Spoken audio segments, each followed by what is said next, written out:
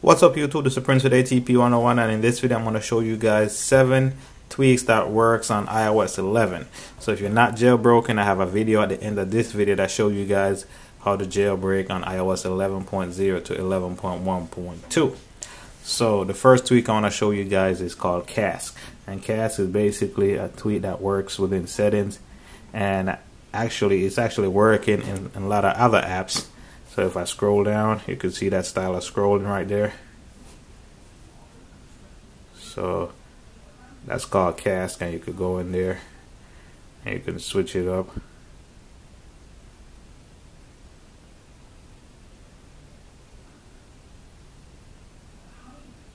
That one didn't really switch up, but basically you could just go in there and switch it up however however you like.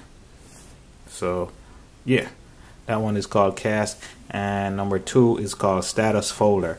Usually when you open up your status bar, when you open up your folder, sorry, when you open up your folder, the status bar will go away. But with Status Folder, when you open it up, you can still see the status bar up top.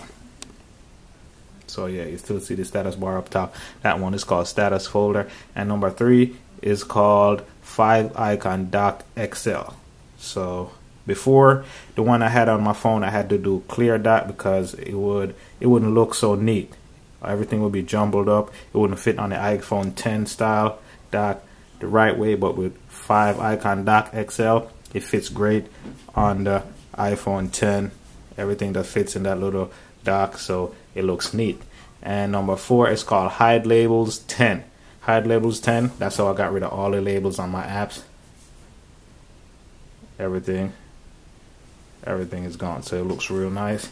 So that one is called hide labels 10 and number five is called ExKey. X key is basically so let me go to a so if I go to my Twitter and I open up a new basically uh, to compose a tweet you can see I have an extra row of keys with all the numbers up top. So that's what X key does. It just gives you an of key that you could customize and put whatever you want in there, emojis. But default, it comes with the numbers up top, which is pretty cool. So that one is called ExKey. And another cool one I have is this one is called Tap Tap Flip. So if you open up your camera, all you have to do is just tap tap and it will flip around. I mean, just like that. And it will flip around from your front facing camera to your rear facing camera or vice versa. That one is called tap tap flip.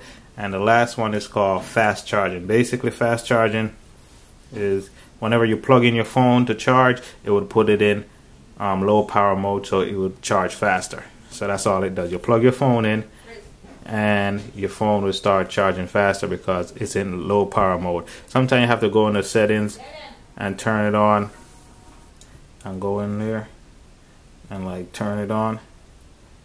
And once you plug your phone in it'll work. It's kind of it's kind of partially working for the iPhone 10 but I know it works for the other devices. So this one is hit or miss.